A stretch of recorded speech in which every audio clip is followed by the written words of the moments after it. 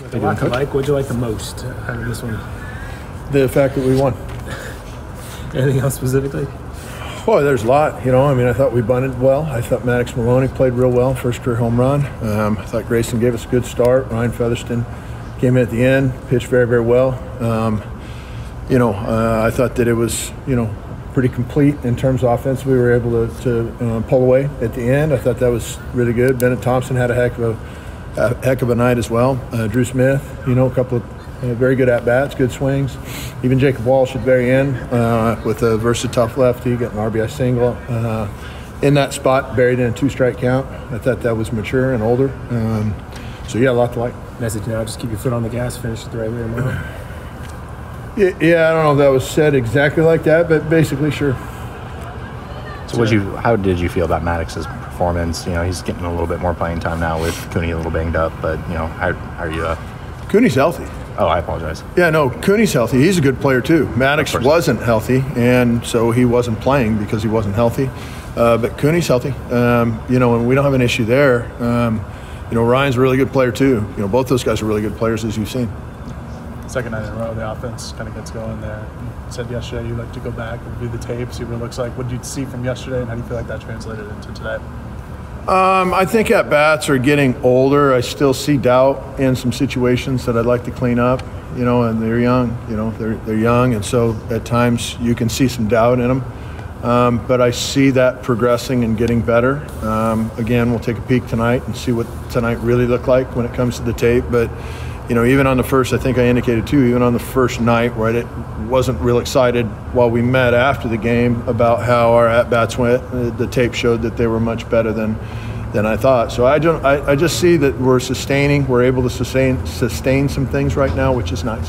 What, what do you mean specifically by doubt? Is it more like just from like the hitter's perspective against the pitcher, like not having confidence, or is it something else? Yeah, I think so. You know, I don't know how else to put it. I think you put it well. Maddox is another local kid, and obviously you got a million things you worry about rather than feel good stories like that. But kind of what, how far back does the relationship go with him? And um, you know, is he a guy who was out here a lot? You know, as a fan, and just what's it like to see a guy who's from around here have, have a day like you did today? Well, his grandpa played at Oregon and was a Duck. Um, you know, and and uh, you know that family is a tremendous family. I can't go into too much depth uh, with some things, but I can say this much: he's he was a guy that we were excited to get. We had to win a major recruiting battle to get him. Um, he's a very good in-state player, and you know those in-state players we want to, them to play here. You know. Um, and so we were happy to have him, and you know Ryan Cooney's an in-state player. Both those guys, you had to win a lot of recruiting battles to get those kind of players. You know Bennett Thompson's an in-state player.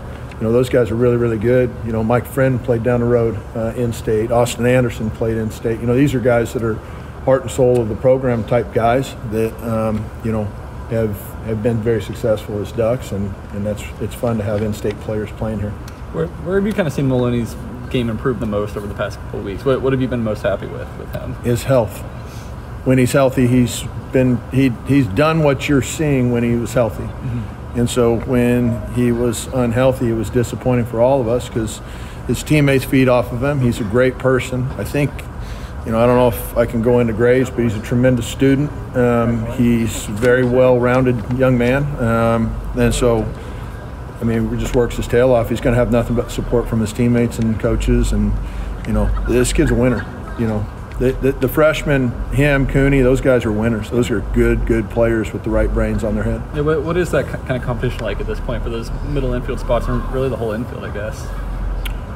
Well, I mean, I think throughout the course of the season, you're going to have guys get hot and maybe kind of cool off a little bit and go through some struggles, maybe have some injury stuff, you know. Um, and so when you have some injuries, then you, you, you rotate guys through. The key is just to keep those guys sharp and ready to where when they get their opportunity. I mean, the real credit goes to Coach Henkel, Coach Marder for getting, uh, and Gavin Grant for getting Maddox Molony ready after an injury to be able to come out of an injury and do what they're doing. Those coaches deserve uh, a tip of the cap as well, uh, along with the player, because the player had to invest so much time and to get himself prepared when he's not getting game at bats.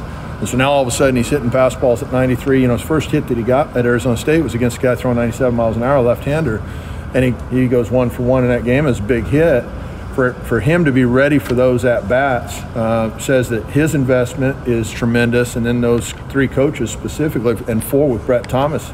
Um, you know, when it, when it comes to the analytics of it, Brett uh, supplies a lot of information to those coaches to where those guys can get a plan together to help these kids. And, and those four people, just as a whole, uh, really deserve a lot of credit with Maddox's development. Pretty well into the season now. I mean, what are you loving about this team so far? I like to be with them on a daily basis. They like to play baseball, and they're looking for guidance, and that's how we can help them. Um, I like being a part of their growth. You know, as you can tell, you know, you got we talked, we spent plenty of time on the other freshmen, and, and yet Ryan Featherston's out there. You know, Grayson Grinsell's the old man, and Grayson's is in his second year.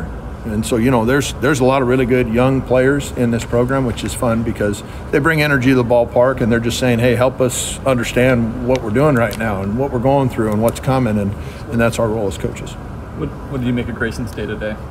Solid day.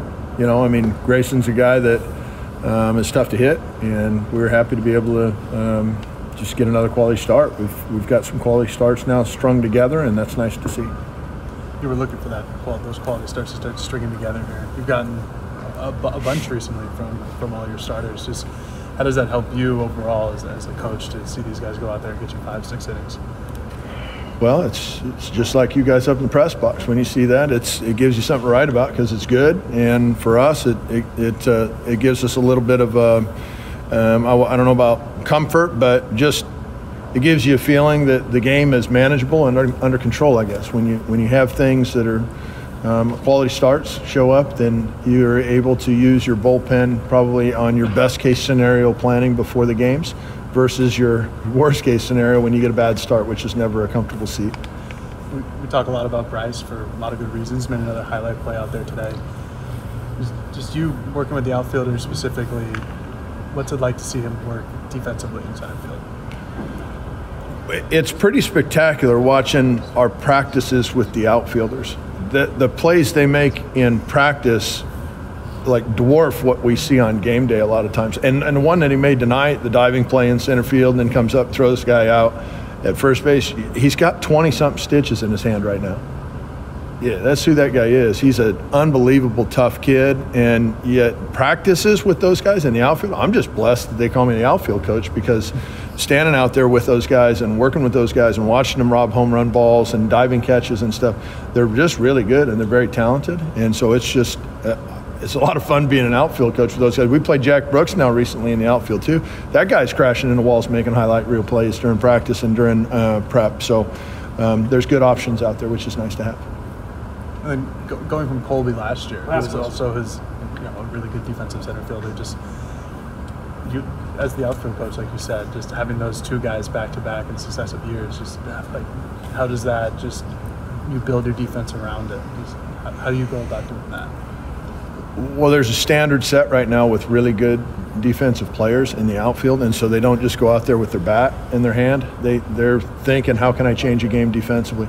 You know, um, last night Mason Neville made a catch in left field towards the line that nobody even talked about. Um, and it was an unbelievable play and a really challenging play with the weather conditions we had last night. Uh, those guys are really, really good at moving around the outfield. It's it's a blessing to have those guys. It's it's a lot of fun. I'm glad you recognize that.